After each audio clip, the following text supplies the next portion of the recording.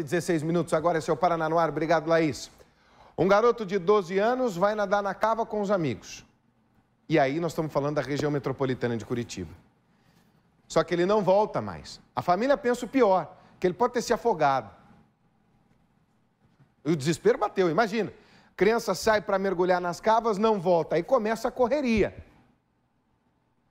Gente, encontraram essa criança com um adulto. Esse adulto acabou preso. Essa história aqui é inacreditável. Dá uma olhada no que estava acontecendo, mostra. Essa idosa não conseguiu dormir. O desaparecimento do neto de 12 anos mobilizou a cidade. Dormi, não jantei, não tomei café, nada, não consigo nada. Agora, eu assim, minha vida foi a noite inteira, passei mais cedo acordado. A senhora temeu pelo pior? A senhora imaginou que pudesse ter acontecido algo? É, eu pensei, digo, eu pensei que o meu neto tinha morrido afogado no rio. Tudo vinha na minha cabeça isso. Foi esse policial militar que ficou sabendo do caso e resolveu procurar pela criança logo cedo. Que no primeiro momento disse que essa criança estaria numa, numa cava brincando, junto com outros, outras crianças também. E, e teria vindo, os demais teriam vindo embora e ela teria ficado lá. No primeiro momento, nós é, até pensamos em solicitar o apoio do Ghost para ver se num possível afogamento, alguma coisa, né? Quando todos temiam pelo pior e imaginavam que o menino tinha se afogado, a surpresa. Chegou ontem informação que ele teria saído com um rapaz de maior que teria convidado ele para ir numa residência brincar. Porém, ninguém sabia informar quem que era esse rapaz. Só conseguimos a foto dele pelo Facebook. O primeiro nome dele é Maico. E também uma foto antiga, 2016. Então, segundo as informações ali, nós fomos pegando informações e fomos chegando, é, foram nos indicando, perguntavam no local, uns conhecia, mas dizia que já não morava mais ali, até que chegamos na localidade onde ele estava morando. Seria na Casa dos Fundos. A gente entrando aqui no terreno, a gente observa que é um local bastante humilde.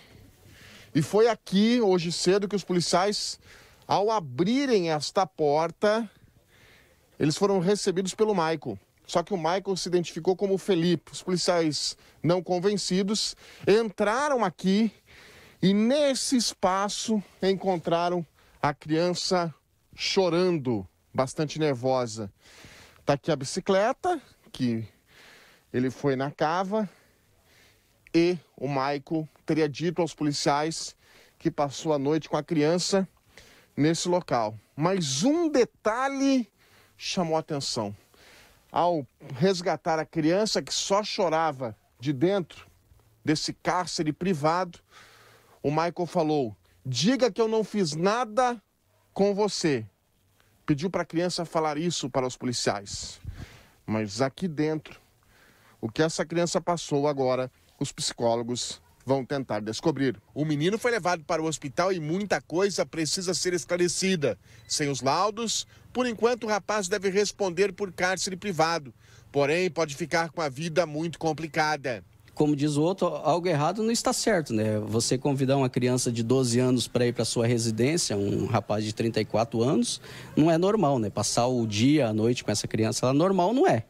No meu ponto de vista, não é normal, né? Mas vamos ver qual é a interpretação da autoridade aí né, é, o comandante, é o soldado que estava lá na operação, e de todo mundo, né? E de todo mundo. Por que, que, que colocou esse jovem ali? Agora os psicólogos que vão fazer ele falar. Você não tem dúvida disso? Se houve abuso, se não houve, e se houve qualquer tipo de ato libidinoso, como é menor de 14 anos, é estupro de vulnerável, ponto. Isso já está certo. E aí a vida deles complica muito, porque ele também deixou marcas e deixou traumas nesse jovem de 12 anos de idade. Portanto, sempre estabelecer essa proximidade, essa confiança da molecada, né? E deixar sempre esclarecido, não vá, não vá, não vá. Mas é um adulto, né, de 34. Vai convencer, sim, um menino de 12 anos de idade, uma menina, você não tem a dúvida disso. Que não é normal? Não é. Não é. Principalmente ele insistir para o jovem falar que não aconteceu nada demais. ele tem noção.